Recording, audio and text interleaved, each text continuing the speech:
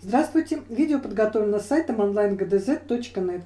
Номер 650. Решить задачу с помощью уравнения. А.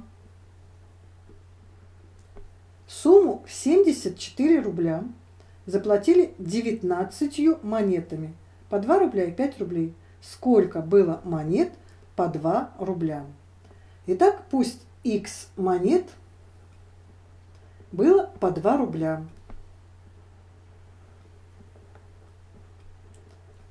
Нам как раз это и надо найти. А так как всего было 19 монет, то чтобы узнать, сколько монет было по 5 рублей, надо от 19 отнять количество монет по 2 рубля, то есть x. И это монет по 5 рублей.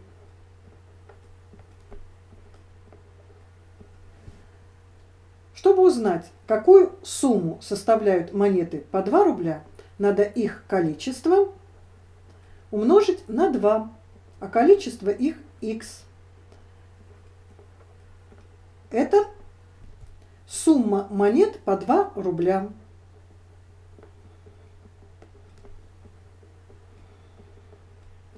А чтобы узнать, сколько рублей составляет всего монеты по 5 рублей, нужно их количество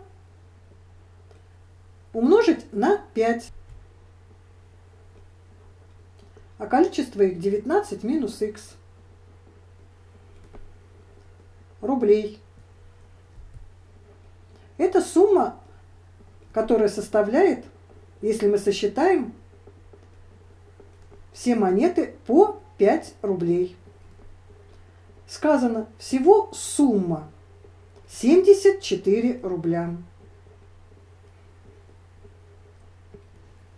Составляем уравнение. 2х плюс 5 умножить на 19 минус х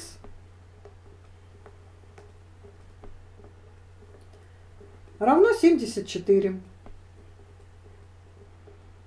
Решаем это уравнение. Решая уравнение, раскрываем скобки и переносим слагаемое из одной части в другую по правилам переноса. Если переношу, знак слагаемого меняю. Получаю x равняется 7. Я принимала за x количество монет по 2 рубля. То есть всего 7 монет по 2 рубля. А это мне и надо найти. Больше ничего искать не надо. Могу записать ответ. А теперь решим вторую задачу. БМ. Если разменять 27 рублей на гривенники и двугривенные, так, чтобы всех монет было 170, то сколько будет гривенников и сколько двухгривенных монет? Сначала переведем 27 рублей в копейки, потому что гривенник и двугривенный – это старинное название монет в 10 и 20 копеек. То есть решать все будем в копейках. 27 рублей – это 2700 копеек. Так как в одном рубле 100 копеек. А теперь будем решать аналогично. Если я за x приму количество монет по 10 копеек, то есть гривенники, то тогда, чтобы найти количество двухгривенных, а всего их было 170 монет, надо 170 отнять x.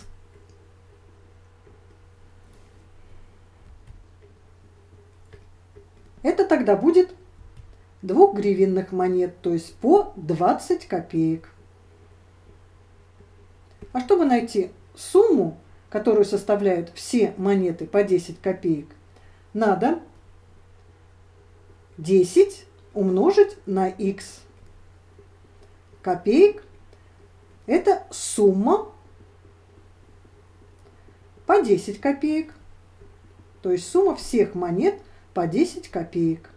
Чтобы узнать сумму всех монет по 20 копеек, надо 20 умножить на их количество, то есть 170 минус x копеек. Это сумма всех монет по 20 копеек.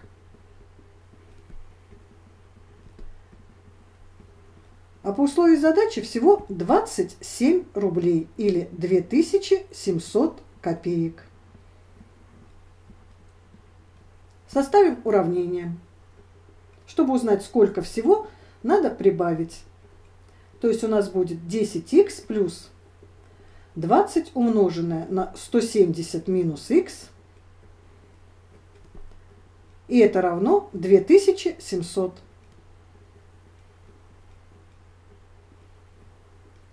Решим это уравнение. Мы получаем x равняется 70. Это монет по 10 копеек. А нам надо найти, сколько монет и гривенников, и двух гривенок. То есть и количество монет по 10 копеек, и количество монет по 20 копеек. По 10 копеек мы уже нашли. Теперь найдем, сколько будет по 20 копеек. Для этого надо 170 отнять 70. Мы получим 100 монет по 20 копеек. И вот теперь мы ответили на все вопросы в задаче. Итак, 10 70 монет по 10 копеек и 100 монет по 20 копеек. Можно записать ответ. Таким образом, мы решили все задачи в номере 650. Если у вас есть вопросы или предложения, то оставляйте свои комментарии под видео.